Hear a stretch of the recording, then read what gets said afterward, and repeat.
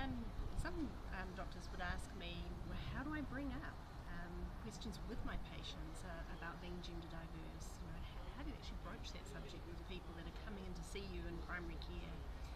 And I guess you work out a style that's comfortable for you but you might have a young person in the room with you and you might be commenting on their appearance or their dress or their hair colour and you might be saying, ah, lots of young people that um, I work with in the practice are exploring their, their gender.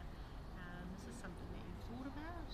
Um, or it might be that when you're patient, you're saying, hi, I'm Jeannie, I use he, she, her pronouns. What pronouns would you be comfortable for me using for you when, when you coming to see us here in this practice. So there's no right or wrong way of doing